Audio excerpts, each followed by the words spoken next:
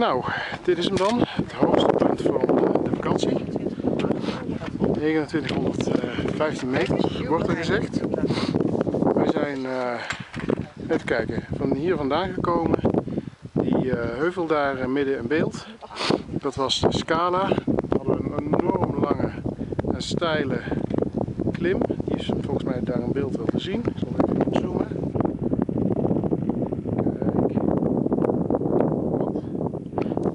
3,2 kilometer lang naar boven. Eindeloze machteltocht, Maar je moet wel als je Zeist wil zien.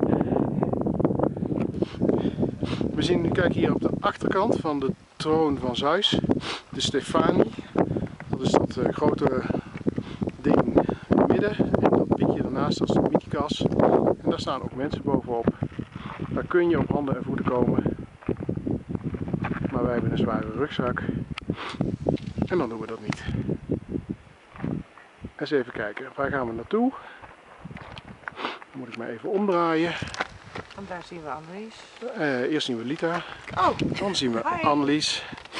En eh, we gaan hier eh, over de kam naar dat topje. Daar zit ook een, daar gaan we dan overheen. Dan gaan we naar deze top die nu in het midden van beeld is.